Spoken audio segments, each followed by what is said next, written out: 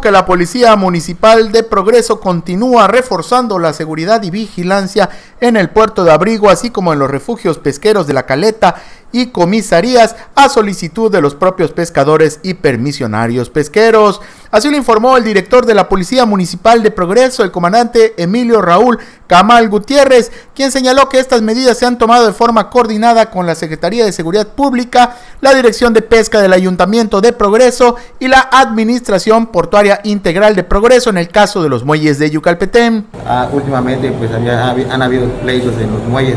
como tales como de Yucalpetén. Se han estado tomando medidas por parte de la Secretaría de Seguridad Pública y la Dirección de Seguridad Pública y Tránsito en coordinación con la Dirección de Pesca. Ya se llevó un operativo anterior en la, en la caleta donde se retuvieron tres vehículos que no, que no que carecían de la documentación correspondiente, no tenían tarjeta de circulación, no contaban con ningún documento de, de su vehículo, por lo cual se les tuvo que retener. Asimismo, igual se retuvo este, bebidas embriagantes que se estaban intentando pasar al interior de la caleta. Lo que es en los muelles ha estado haciendo un recorrido continuo eh, en coordinación con la Secretaría de Seguridad Pública y hace unos días se llevó a cabo igual un operativo en, el refugio pesquero de Chuburná, es donde participó la Dirección de Pesca, este, la Dirección de Seguridad Pública y Tránsito y, y el Grupo Náutico de Chuburná.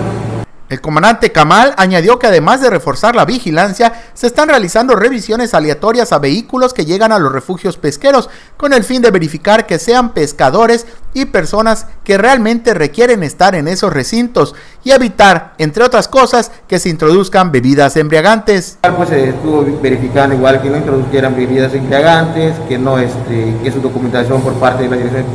pública, que esté su documentación en orden de sus vehículos y a la vez que no estén entrando personas foráneas a las embarcaciones